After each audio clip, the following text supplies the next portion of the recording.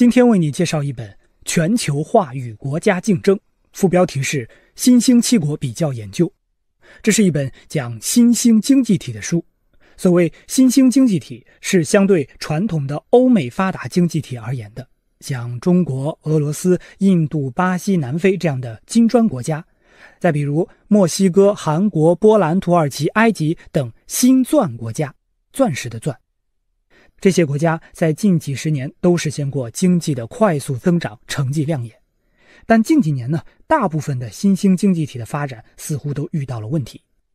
比如巴西，这个国家的 GDP 在2011年一度超过英国，但现在的 GDP 世界排名已经被甩出前十名以外了。还有人说啊，南非根本算不上金砖国家，它只是虚晃一枪就落后了。为什么很多新兴经济体十多年前迅速发展起来，但很快就后劲不足呢？国外学者对这个问题有过大量研究。有人认为新兴经济体是新兴的，发展还不完善，需要克服大量的问题才能实现经济的持续发展。但也有人认为新兴经济体是个伪概念，这些国家只是恰好吃到了全球化的红利。当全球化退潮，红利减少，新兴经济体也就不存在了。今天这本《全球化与国家竞争》是一个中国学术团队对新兴经济体问题的系统研究成果。这个团队由中国人民大学教授温铁军领衔。温教授在发展中国家比较发展研究和中国农业研究领域有很大的影响力，主持过多项国家社会科学基金重大项目。针对新兴经济体这个课题，温铁军教授提到两个关键词，一个是全球化，还有一个是全球化背后的国家竞争。什么是全球化呢？温铁军教授认为，全球化并不意味着自由平等的交流互动，它其实是一种不平等的国际竞争。全世界不同国家在国际中的身份是不一样的，有的是核心国家，有的是半核心国家，还有的呢是边缘国家。全球化本质上是核心国家向半核心国家、半边缘国家、边缘国家一层层转嫁成本的制度体系。核心国家当然指的是美国，边缘国家是广大的发展中国家。转嫁的内容呢，既有经济成本转嫁，还有政治成本。面对不平等的国际竞争，处于边缘位置的发展中国家中有七个最具代表性，这便是温铁军教授讲的新兴七国。包括中国、土耳其、印度、印度尼西亚、巴西、委内瑞拉和南非，这七个国家都实现过快速的经济增长，但除中国以外，其他六国都遇到比较严峻的问题。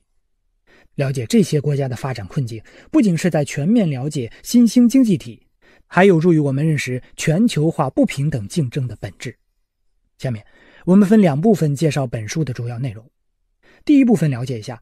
在全球化竞争中，核心国家如何向边缘国家转嫁成本？第二部分具体看一下，面对西方转嫁成本，新兴国家遇到了什么问题？为什么大多数国家都陷入了僵局？他们的出路又在哪儿？我们先看核心国家如何向世界转嫁成本。我们常说，在全球化大潮中，每个人都无法置身事外。这句话是在强调全球化的影响范围广、程度深。但温铁军教授提醒我们，当代资本主义全球化竞争的参与者并不是个体，而是国家，因为全球化的本质就是核心国家向边缘国家转嫁成本，这个过程是以国家为单位展开的。自然界的水从高处流向低处，从湿润的地方渗透到干旱的地方，全球化也一样，世界上各个国家的位置并不平等，利润和风险的流向也不一样。二十世纪，美国社会学家沃勒斯坦曾提出世界体系理论。简单说，资本主义世界经济体有两个最显著的特征：一是一体化，世界从孤立走向联系；二是不平等，资本主义主导的世界是个不平等的圈层体系。其中，英美等国占据高地，居于体系的中心；一些中等发达国家位于体系的半边缘。某些东欧国家、大批落后的亚非拉发展中国家处于体系的边缘。英美等中心国家掌握着先进的生产技术、充足的金融资本，拥有生产和交换的双重优势。为了维持自己的优越地位，他们会利用优势对半边缘和边缘国家进行经济剥削。半边缘的中等发达国家一边受着中心国家的剥削，反过头来呢，又去剥削更落后的边缘国家。而处于边缘位置的那些亚非拉国家，则受到前两者的双重剥削。温铁军教授借鉴了沃勒斯坦的理论，提出了核心半边缘边缘的依附结构来解释当今世界的全球化竞争格局。他也把参与全球化竞争的不同国家划分为三类。由于英国早已衰落，现在占据核心地位的是美国。欧洲、日本等美国盟友位于半核心或半边缘的位置，包括中国在内的发展中国家则环绕在外围。与二十世纪一样，处于相对核心的美国以及他的盟友们，为了保持自己的优势地位，也要对边缘国家进行剥削，并且转嫁各种成本。那如何剥削？如何转嫁呢？温铁军教授认为。从16世纪欧洲殖民活动开始，资本主义国家对世界的剥削和转嫁可以大致分为三个阶段。第一个阶段从16世纪欧洲殖民开始，直到20世纪初一战前，长达三百多年。欧洲各国对外剥削的方式是直接的殖民掠夺。两次世界大战到20世纪80年代是第二阶段。虽然经历了两次大战的摧残。但资本主义国家毕竟有先发优势，可以继续转嫁成本。具体方式呢，是向刚成立的发展中国家转移低利润、高污染、耗费人力的低端制造业。在这个过程中，一些国家和地区吃到了红利，比如亚洲的四小龙、四小虎，还有拉美的墨西哥、阿根廷这些国家。但代价是当地生态环境遭到破坏。同时，由于这些地区承接的大多是劳动密集型产业，生产中劳资双方的矛盾也被承接了过来。从二十世纪九十年代至今，是核心国家向边缘国家转嫁成本的第三个阶段。这三十年最大的特点是，美国充分利用金融手段保障自己的地位。美元是当今世界最重要的国际货币，美国便牢牢把握这个好用的工具。一旦国内出现了经济危机，缺钱了，就增发货币。对于美国来说，只是多印几张钞票的功夫；但对其他国家来说，麻烦就大了，因为全世界都在使用美元。现在美元变多了，但商品数量不变，那相应的商品价格就会上涨，也就是出现了通货膨胀。通过这个办法，美国的经济压力被疏解到了外围的国家。要注意啊！核心国家向边缘国家转嫁的成本不只有经济成本，还有政治成本。近三十年，核心国家颠覆别国政权的例子不在少数，因为他们认为某些边缘国家的政权妨碍了自身的利益。当然，颠覆别国政权这种手段过于粗暴，也容易遭到世界舆论的抨击。所以，除此以外，还有别的手段，比如书中提到的去国家化。也就是核心国家通过驻军或是推广美国的政治模式，让边缘国家的主权不再完整，成为核心国家的马前卒。另外啊，还有一种更常见的办法，这就是干涉别国内政。面对核心国家转移的经济成本，边缘国家的政府会遭受很大的压力，社会出现不稳定。这个时候，核心国家会利用软实力和巧实力来干涉别国内政。所谓软实力。包括意识形态化的教育文化、科研学术、法律服务、标准设定等。所谓巧实力呢，是指策动政治、宗教、民族、地缘冲突。通过这些手段，核心国家又使边缘国家的民众把愤怒指向本国政府和本国制度，边缘国家的社会状况将更加不稳定。这便又给核心国家指指点点、介入操纵别国内政创造了更大的空间。面对核心国家转移来的各类成本，很多新兴国家的经济刚有起色便陷入了困境，或者是在核心国家的支配下选择了一条走不远的发展道路。温铁军教授从众多新兴经济体中选择了最具代表性的七个国家，这些国家分别是位于亚洲的中国、土耳其、印度、印度尼西亚，位于南美的巴西和委内瑞拉，以及位于非洲的南非。温铁军教授进一步将七个国家分成三组，第一组是中国和土耳其，这两个国家在历史上都与殖民者做了比较明确的切割，因此呢，获得自主发展经济的机会。不过啊，土耳其受困于地缘问题，正在想办法破局，这个我们随后会展开说。第二组是印度和印度尼西亚，这两个国家的农村和城市都分别运行着两套不同的经济模式，农村是非正规经济部门，城市是正规经济部门。受制于二元结构并驾齐驱，这两个国家难以完成资本的原始积累，工业体系无法真正的发展起来。第三组是巴西、委内瑞拉和南非这三个国家，他们始终陷在单一殖民地经济体系中无法自拔，要想建立独立自主的工业体系，可谓征途漫漫。下面我们先从巴西、委内瑞拉和南非讲起，其次是印度和印尼，土耳其和中国，最后讨论。首先要说的是巴西、委内瑞拉和南非。相较而言，在这三个国家中，巴西的状况一度是最好的。二零零一年以来，巴西通过资源出口等方式，在国际上赚了很多钱，积累了高额的外汇储备。二零一一年，巴西的 GDP 总量甚至超过了英国，排在美国、中国、日本、德国、法国之后，是全球第六大经济体。巴西还是拉美工业化最成功的国家。建立了比较完整的工业体系，但很可惜啊，巴西非但没有像中国一样走上工业大国之路，现在还成了一个净负债国。温铁军教授分析了很多原因。其实，早在二十世纪六十年代，包括巴西在内的很多拉美国家都意识到发展工业的重要性，但发展工业就需要资本，巴西缺资本，便把本国的自然资源作为交换条件，引进了外资。尤其是从核心国掌握的国际机构引进外资，因为这些国际机构的资本最雄厚，但代价是核心国会提出很苛刻的条件，比如控制巴西的自然资源。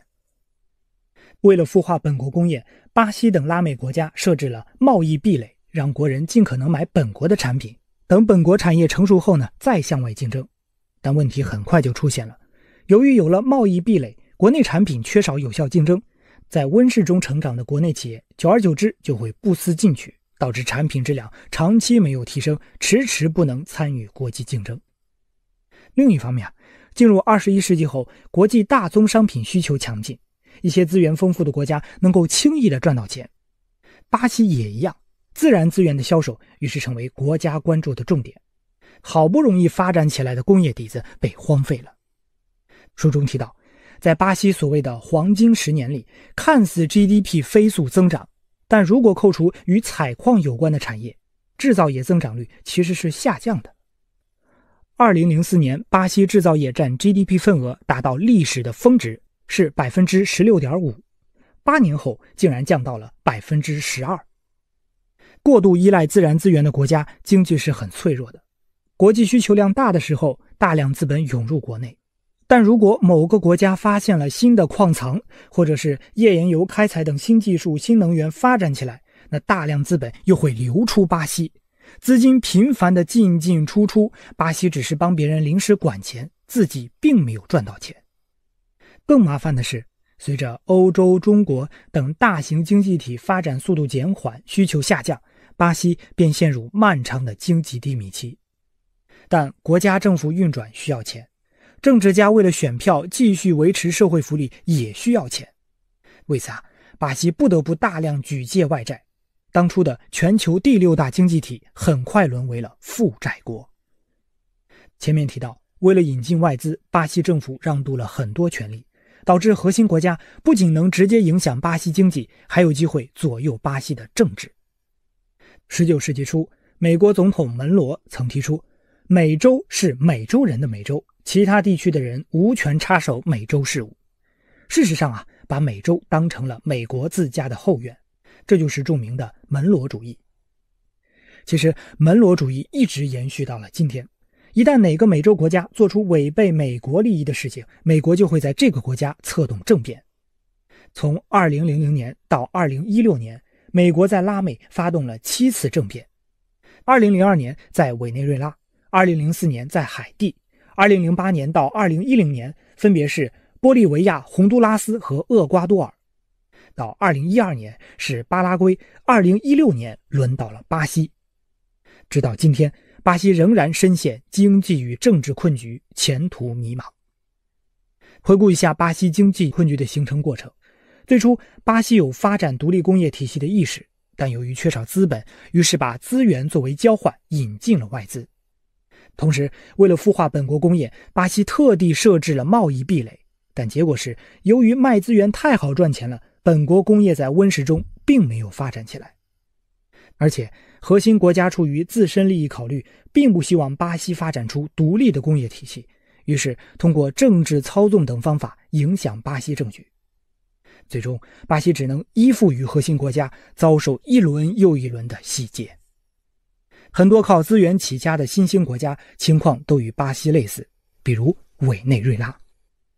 温铁军教授提到，委内瑞拉与巴西有三大相似之处：第一，两国同属殖民化国家，外来殖民人口和混血人口在全国总人口中的占比超过了百分之五十，而且当初两国在争取独立过程中靠的正是这些外来人口。因此呢，在独立后延续了西方的政治制度，并且与欧洲殖民国保持密切的经济文化联系。第二，这两个国家都落入了城市化的陷阱，城市化率竟然超过了百分之八十。聚集在城市的大量劳动力需要工业来消化，但委内瑞拉和巴西两国的工业并没有发展起来，城市的负担可想而知。第三，这两个国家的经济结构都非常的单一。资源出口在 GDP 中占比过大，常常国际经济打喷嚏，国内经济得感冒，并且，但凡这些国家想要收回资源主权，找回一点掌控感，就会立刻遭到核心国家的打压。委内瑞拉就是受害者的代表。这个国家的经济几乎完全依赖石油出口。二十一世纪初，时任总统查韦斯曾收回了石油主权。得益于当时全球经济的高速发展，对石油的需求增加，让委内瑞拉赚了一笔。借这个机会，查韦斯一方面改善民生，巩固选民对自己的支持，同时呢，试图组建拉美同盟来削弱美国的影响。但美好的时光很短暂，二零一四年以后，国际油价大跌，国内改善民生的钱没了，国际上组建拉美同盟行动也搁浅了。美国抓住这个机会，开始对委内瑞拉实施各种制裁和政治颠覆，甚至呢，荒唐地宣布委内瑞拉的状况对美国的国家安全及外交政策构成了非比寻常的莫大威胁。委内瑞拉的困局直到今天也没有解除。我们再看另一个国家南非，南非虽然不是委内瑞拉那种纯粹的资源型国家。但它跟巴西、委内瑞拉有一点相似之处，就是在独立的过程中没有跟殖民宗主国撕破脸。南非政权之所以能建立，是因为同意维持殖民国家的跨国公司继续享有资源开采权。听起来有点软弱，其实呢有很现实的考虑。简单说啊，首先是如果争取暴力独立，成本太高，而且未必会成功。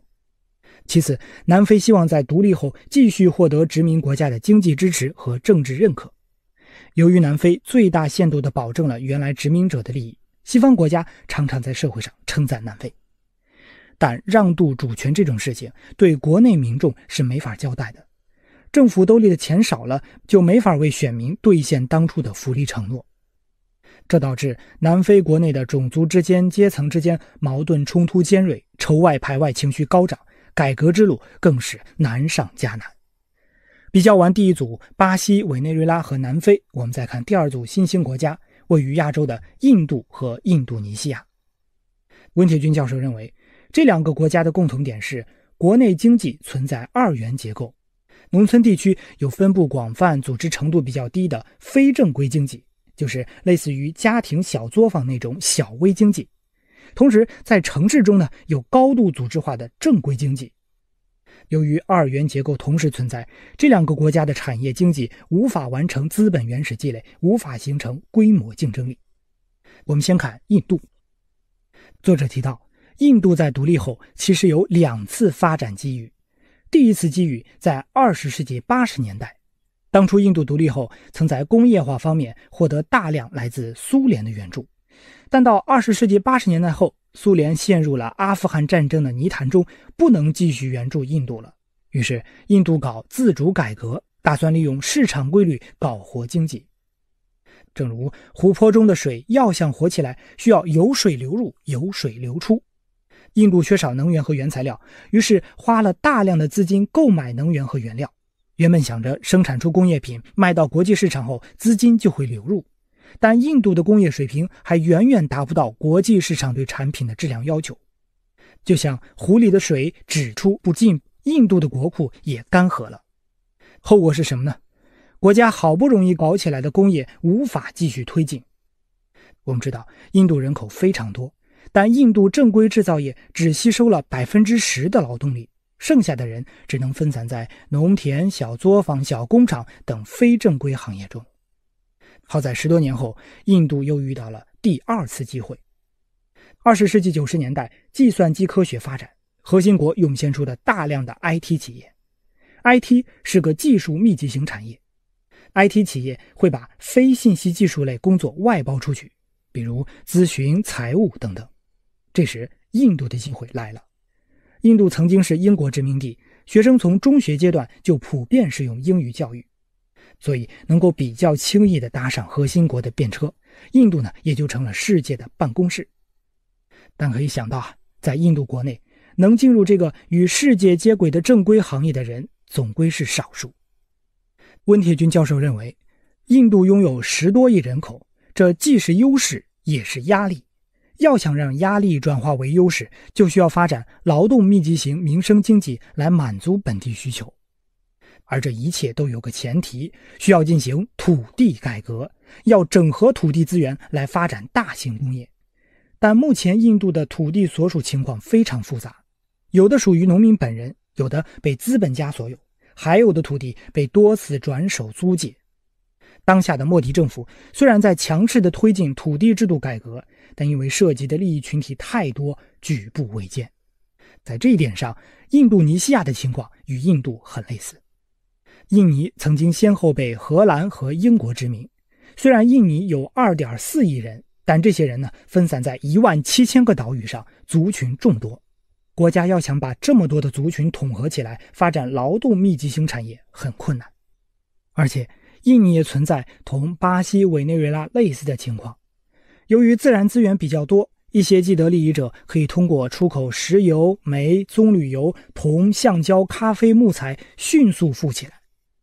但结果会是什么？我们前文已经反复论述过了。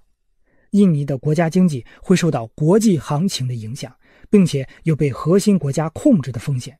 在这个背景下，印尼要想摆脱资源出口国的定位，发挥人口优势，转型为加工制造业大国，非常艰难。简要回顾一下前面提到的五个国家，你会发现，这些新兴国家在历史上都曾被核心国家殖民。而且呢，都是通过与殖民国家谈判的方式独立的。温铁军教授对这种现象有如下的评论：这段内容有点烧脑，我读的稍微慢一点。没有经历暴力革命，而是通过与原宗主国谈判，延续原宗主国政治经济体制的方式而获得执政权力的政府，他们在推进社会改革时。往往遭遇原有体制内的那些依附跨国公司的利益集团、旧官僚、境内外跨国资本等势力的激烈反扑，从而使新政权改革往往难以深入。要想保存有利于民众的改革成果，也非易事。那哪些国家与殖民者进行了有效的切割呢？最后我们要看的土耳其和中国，便是两个典型代表。温铁军教授提到，这两个国家在建国后都曾努力摆脱对西方的依附，相对来说自主性比较强。正因为这样，目前这两个国家的现代化建设都已经初具规模。那既然这样，为什么土耳其没有像中国一样成为制造业大国呢？温铁军教授认为，土耳其的主要问题可以用“地缘”这两个字来概括。所谓“得也地缘，失也地缘”。土耳其地跨欧亚大陆，早在二十世纪二十年代就开始抓住了近水楼台的优势，学习西方。按理说啊，过了一百年，土耳其应该融入欧洲，成为其中一员了。但现实的情况是，土耳其是北约成员，却不是欧盟成员。也就是说，欧洲国家在军事上利用它，却在经济上排斥它。原因也很简单，土耳其的地缘位置太敏感了。土耳其同时扼守着中东通往欧洲以及北方国家南下地中海的要道，军事意义很突出。欧美国家必须要争取。但另一方面呢，土耳其曾经是伊斯兰世界最强大的国家之一，与西方在理念上还是有冲突的，因此并不能真正的接纳它。好在土耳其似乎等来了破局点。欧洲国家发展经济需要石油，却缺少石油资源。距离欧洲最近的石油出口地在亚洲西部的里海附近。俄罗斯曾计划打造一条跨越南欧巴尔干的管道，把里海一带的天然气经过乌克兰输送过去。但随着乌克兰危机爆发，这个计划的可行性变得不明朗了。土耳其看到了机会，想要把里海沿岸国家和巴尔干地区国家联系起来，承担起能源枢纽的角色。但土耳其是否能获得欧洲国家的信任，还需要时间的检验。最后，我们看一下中国。中国是七个新兴国家中真正步入工业化进程的国家，我们还建立了世界上最齐全的工业体系。为什么中国的工业化能取得这么大的成就呢？温铁军认为，关键之处在于，在新中国成立之初，中国就与殖民宗主国做了果断彻底的切割。中国是一个全新的国家，主权在我，没有给核心国家留下控制的机会。不过，这似乎只能说明中国的工业体系是相对自主的。中国为何能成为工业大国，还需要进一步的解释。书中提到，中国的成功在于多次妥善地化解了问题。改革开放后，中国制造业迅速发展，到1998年。我们的产能已经达到了国际市场的最大需求量，出现了产能过剩的潜在危机。面对这个问题，中国政府使用了国债投资的手段，引导过剩的生产力转向内陆的基础建设，由此维持了中国十五年的经济高增长。不过，中国的产能过剩是建立在外向型经济这个前提下的，只靠对内投资空间毕竟有限，而且。过去的大规模基础设施建设也引发了环境污染等问题，于是中国在两个方面做了努力：一手进行产业整合，压缩过剩产能；另一手呢，加大环境保护力度。当2012年到2013年全球出现经济危机，我们前面介绍的六个新兴国家都陷入发展困境的时候，中国在2013年确立了朝向生态文明的重大转型。并且在二零一七年确立了支撑生态文明转型的乡村振兴计划。温铁军教授在他的新书《从农业一点零到农业四点零》中进一步解释了这个问题。中国的平原面积只占到全部国土的百分之十二左右。以前，中国经济发展的引擎集中在东部平原地区，尤其是沿海的城市地区，而中国的山地、高原、丘陵面积多达百分之七十。这里农村广布其实是中国最有希望、最有潜力的地方。有关生态文明和乡村振兴，这又是另一个系统性的话题了。今天的时间和篇幅有限，感兴趣的朋友可以去找温铁军教授的书看看。这本书就为你介绍到这儿。我们跟随温铁军教授了解了全球化背景下核心国家是如何向边缘国家转嫁资本的。随后，我们依次看了七个新兴国家在全球化背景下分别遇到了什么问题。到最后啊，我们要追问一句：广大新兴国家的出路在哪儿呢？温铁军教授这样回答：新兴国家尚未兴，何以兴？大多数新兴国家之所以身处困局，是因为仍然在核心国家的霸权体系里小修小补，期待游戏规则有朝一日会变得更加公平。或许啊，我们真正要做的是对核心国家去依附，只有摆脱附庸的身份，才能把握前途和命运的机会。好，以上就是这本书的精华内容。恭喜你又听完了一本书。